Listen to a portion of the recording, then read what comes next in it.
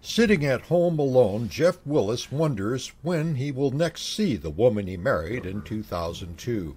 My wife is not a spy. My wife is not a thief. She's not a criminal. My wife is a hardworking businesswoman who has spent years working on any kind of things that can help create cooperation between Houston and China. Since Sandy Phan Gillis was detained in China six months ago, Gillis has spoken only to his sisters, his wife's family, and close friends, hoping that U.S. officials could negotiate her release. Now he's publicly asking President Obama to bring the case up with the Chinese leader when they meet Friday. Although he's hired lawyers, Gillis says it's been difficult to get any information from her or about her.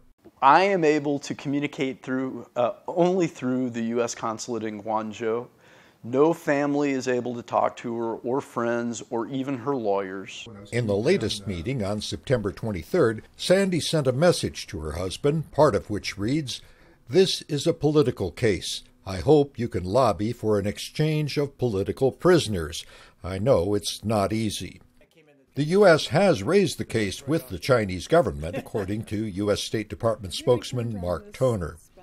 Uh, we obviously uh, are monitoring this case very closely. Uh, we've been to visit her uh, six times since her arrest.